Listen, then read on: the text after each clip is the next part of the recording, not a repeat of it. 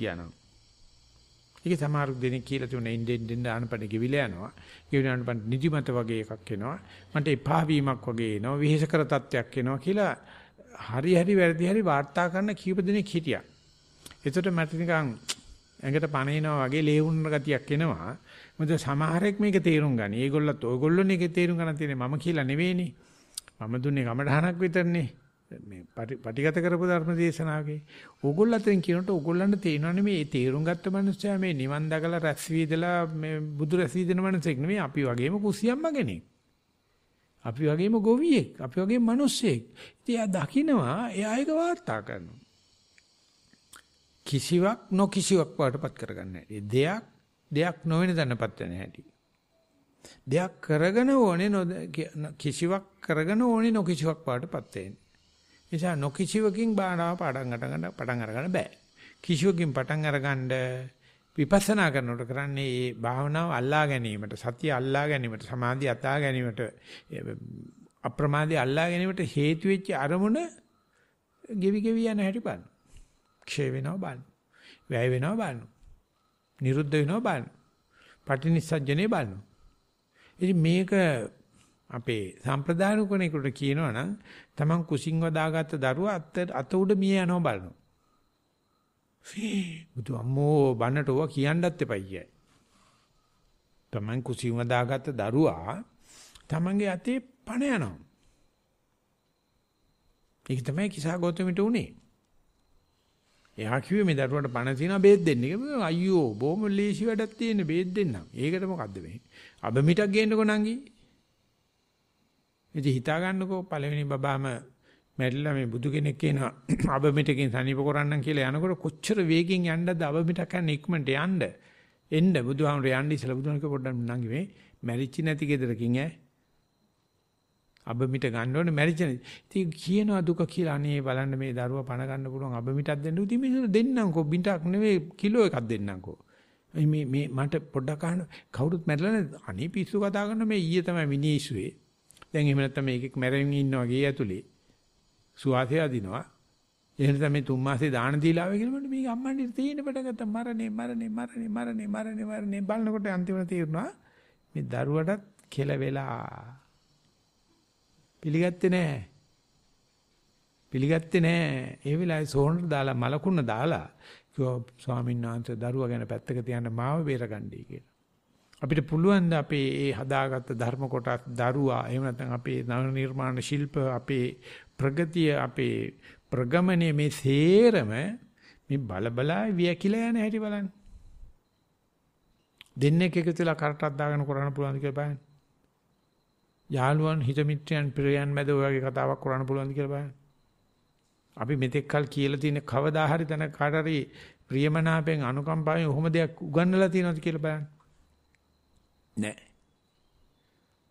මේකට මම බැනුම් ඇහුවා ඒ සතිය ඉගෙන ගන්න කාලේ ධම්මික ආමඳුරංගෙන් තොපි වගේ වසල જાතියක් නැහැ ලෝකෙම මෙච්චර වටින ධර්මයක් දීලා තියෙද්දි එක එකක්වත් දන්නෙත් නැහැ කියලා දෙන්නෙම එකතු කරනවා රැස් කරනවා පින් කරනවා සංස්කාර රැස් කරන එක තමයි කරන්නේ.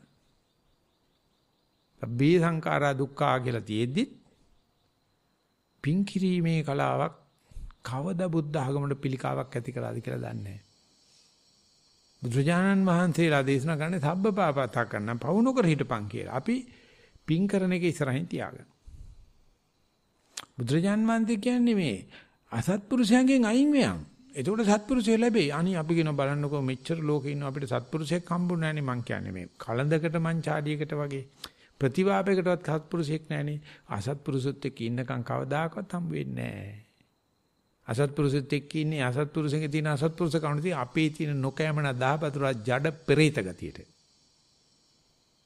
ධර්මයේ මෙච්චර තියේදී සත්පුරුෂෙ මෙච්චර ඉඳද්දී අපිට ඒගොල්ලත් එක්ක ගමනක් නැහැ. ඉතින් ඒකල කියනවා අනේ මම මේ දන් දීලා අනේ සිල්ල කළ මට අසත්පුරුෂ සංසේවණෙන් අයින් වේවා කියලා. ඒකල යන්නෙම අසත්පුරුෂය මැදට. දැන් සන්ලයිට් දාලා හොදලා සන්ලක්ස් ගාලා හොදලා කක්කවලට බහිනවා ආයතරයක්. ආයෙ කියන බය වෙන දෙයක් නැහැ සන්ලයිට් කැල්ලක් තියෙනවනේ. ආයෙ බහැලා ආයෙ හොදනවා ආයෙ දාන්න. ඉතින් ඒ වාගේ දෙයකදී මේ උපසියෝ මානවකයට අහඬ යම් අරමුණක එල්ලිලා බදාගෙන ඒ අරමුණම අතහැරීමෙන් එගඩ වෙන ක්‍රමයේ කියලා දෙන්න කියන්නේ ඒ අහන ප්‍රශ්නේ ව්‍යාකරණේ ඒ අහන ප්‍රශ්නේ ප්‍රශ්න කරන ස්වභාවය දිහා බලනකොට පේනවා ඒක හිතින් අහන්නේ බුදුරජාණන්සේ දන්නවා මේ සංසාර කියන එක ඇති වෙන්න සංසාර බය කියන එක ඇති වෙන්න දැකපු කෙනෙක් මේ. ඇත්තටම සංසාරයෙන් ගැලවෙන්න හදන. අපි එහෙම නෙවෙයි අපි මේ ආංශික විදියට සංසාරය අතහැරලා ආන්තික විදියට මේ කරන්න හදනවානේ. කැලලක් තියාගෙන. ඉතින් ඒ තාක්කල් කක්ක ටිකක් තියෙනවා. මුද්‍රේශන්සේ සඳහන් කරන මේ අසුචි මූත්‍රායි ඊටාම සුළු ප්‍රදේශයක් තිබ්බත් ගන්ධස්තරයි. ඊටාම සුළු ප්‍රදේශයක් තිබ්බත් ආසාදනය කරන සුළුයි. ඒ වගේ කෙලස් පිළිබඳව හෝ ප්‍රියං පසුන් කියන මේ ප්‍රිය වස්තුන්ට පුතුන් කියන දේවල් වලට ප්‍රිය කරන තාක්කල් පින්කම් කරන්න පුළුවන් දාන දෙන්න පුළුවන් මොනවද කියන්නේ සංස්කාර රැස් කරන්න පුළුවන් හැබැයි පුතෝ නිවනට යන්න නම් ওই රැස් කරගත්ත දේ එහෙම නැත්නම් එකතු කරපු දේ මයි බාධාව කියලා තේරුම් ගන්න වෙනවා. ඉතින් අර බැඳපු නැති පැවිදි වෙලා ඉන්න මට මේවා කරන්න පුළුවන් වුණාට ඕගොල්ලෝ ගෙවල් වලට එමු කියලා කිව්වොත් මොන වගේ ජංජාලියක් වෙයිද? ඌ ආහන්ටද අම්මලා ගියේ මේ නිස්සන් වනේට කියලා ගල් ගහයි. අපිටත් ගල් ගහයි. මම නිසා බණ කියනකොට බණ මේ දොරවල් ඔක්කොම වහලා තියෙන්නේ කියලා. මොකද නැත්තම් ෂුවර් නෑනේ. ඔයගොල්ලෝ මෙතෙක් කල් අහපු බණ જાති නෙවෙයිනේද මේකේ තියෙන්නේ. හැබැයි අවුරුදු 60ක් ගිහිල්ලා තියෙනවා මේක. මේ Nissan වනේ 60ට කිට්ටු කරනවා දැන්. කවුරුත් ගල් ගහලා නැහැ. බුදුජානන්සේගේ සුවිශේෂී ආශිර්වාද තියෙනවා. ද පැහැදිලිවම කියනවා. පැහැදිලිවම කියනවා අල්ලපන් යමක් ඒ කෘත්‍ය හමාර වෙච්චාම ඒක විසිකරන්න බලාගෙන. එහෙම නැත්නම් අපි කියනවා ප්‍රයෝජනේ සලකලා කියලා. එහෙම නැත්නම් කියනවා අර පිරිමැසුම් දායකව මේක අල්ලපන්. සුඛෝපභෝගී වස්තු කියලා කියන්නේ ඕන හෝ වේවා නැති හෝ වේවා රැස් කරන. අද মালටි බිලියන් කම්පැනි වලින් කරන්නේ වෙළඳ ප්‍රචාර වලින් කරන්නේ අධ්‍යාපනයෙන් කරන්නේ සෞඛ්‍යයෙන් කරන්නේ දේශපාලන විද්‍යාවෙන් කරන්නේ සමාජ විද්‍යාවෙන් කරන්නේ මේ රැස් කරන හැටි කියලා දෙනවා. අනේ අපි දරුවන්ට යන කල දසාව පොඩ්ඩක් හිතන්න. මේ වගේ අමන දෙමව්පියෝ ඉන්න රටක දරුවන්ට මෙව්ව පුරුදු කරනකොට උන් කොහෙන් එන්නද? ඒක නිසා එකක් විශ්වාසයි. මොකද්ද? හැම දරුවෙක්ම දෙමව්පියන්ට වෛර කරනවා. දැනගෙන නෙවෙයි. දැනගෙන නෙවෙයි ඒ දරුවන්ට තේරෙනවා කොච්චර සුන්දර උප්පත්තියක්ද අපි ලැබුවේ. දැන් අපි අර උඩා හොරියච්ච බැල්ලිට පැටියෙක් හම්බෙලා හිටියා. අනේ මුල් ටිකේ කොස්සටේ වගේ හුද්දට කිරි බීලා අනික් පැටිය මැරිලාද කොහොමද? දැන් අර බැල්ලි හොරිත් දීලා කිරිත් දීලා දැන් බැල්ලි පැටියෙක් නේ හොරි ටිකක් තියෙනවා.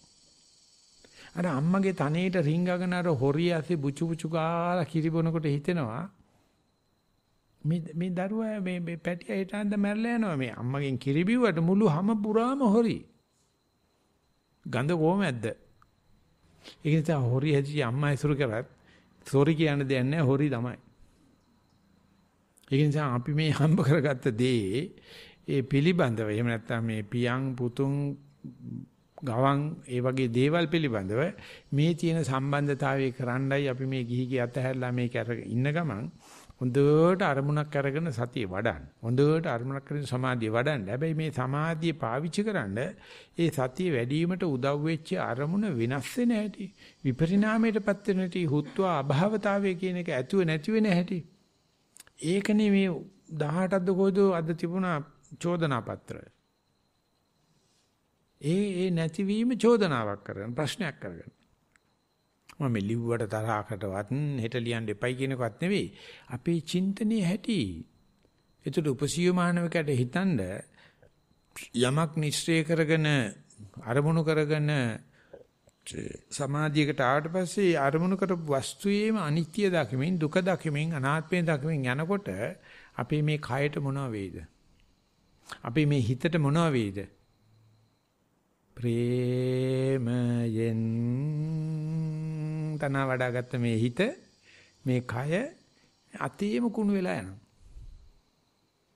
ඉතින් ඒකට පිස්සු හැදෙනවා කියන කාණ්ඩ දෙයක් යප්පා. භාවනා කරන සෑහෙන කාණ්ඩ පිස්සු හැදෙනවා. හැදුන් නැත්තම් තමයි මට අප්සෙට්. මට පිස්සු හැදුනා ඒකට. කවුරු කියන භාවන හොඳට යනවා කියලා මම දන්නවා ෂුවර් බොරුව යන්නේ පිස්සු. හොඳට දැක්කනම් සමාධිය සතිය ආපු ගමන් මේ අරමුණු කරපු වස්තු කුණු වෙන්න පටන් ගන්නවා. එහෙම නැත්නම් විපරිණාමයටපත් වෙනවා. ඉතින් ඒක දකින්ද ඒක දකින්ද මේ ආත්මෙ පින් කරලා මදි. ඒක ගිය ආත්මෙන් ගේන්න ඕනේ. මේ මන් දෝත්සාහය කරන්න කියනව නෙවෙයි. අඩු ගානේ සුතමේ ඥානෙ මේක දකින්න අඩු ගානේ චින්තාමේ වශයෙන් බලන්න බුද්ධෝත්පාද කාලයක හම්බෙන්නේ මේ සුවිශේෂී විපස්සනාවේ විශේෂත්වය තමයි මේ කෙලෙස් අඩු කිරීමට සතිය වැඩි කිරීමට සමාධිය වැඩි කිරීමට අප්‍රමාදී වැඩි කිරීමට ගත්ත අරමුණ දැක දැක දන දන නොකිසියක් වඩටපත් වීම අමාරු නෑ අපිව බැලුවේ නැති වුණාට පේන්නේ ඕක තමයි ලෝකේ. ඉර බහිනවා කියන්නේ ඕක තමයි. හඳ බහිනවා කියන්නේ ඕක තමයි. කෙස් පැහෙනවා කියන්නේ ඕක තමයි. හැම රැලි වැටෙනවා කියන්නේ ඕක තමයි. ඕකට ජැක් ගහලා කුඤ්ඤ ගහලා මොනවා කරුවත් හරියන්නේ නෑනේ. කට්ටිය දෑයෙන්න හිත කලු කරනවා. මූණ දිහා බලනකොට පේනවා දාහන් ලෑල්ල වගේ රැලි වැටිලා. හැබැයි ඉස කලු කරගෙන ඉන්නවා. එහෙම බෑනේ සෝංශ රස්සාව කරනකොට ඉතින් ඔෆිස් වල එහෙම කරන්න බෑනේ කියලා අපිට ප්‍රශ්නයක් නැහැ කොණ්ඩේ කපුවට පස්සේ. තට්ටේ ගෑවට පස්සේ මම අද උදේ කරපු වැඩවලදී ඉස බා ගන්න බැරුව මට ලැජ්ජාව වගේ හිටියේ. වැදගත්තු කීප දෙනෙක්ම හම්බුණා. දැන් ඕගොල්ලෝ හම්බෙන්නේ උඩ මම දැය කොට රැවුල බාගෙන දැන් මට කොච්චර ඉලන්දාරිය වගේ ඉන්නවද කියලා. හෙයාර් ස්ටයිල් උත් නැහැ, ඩයි දාන්නෙත් නැහැ. මුන්න බුදුරජාණන්ති අපිට තිර තියෙන දායයදී.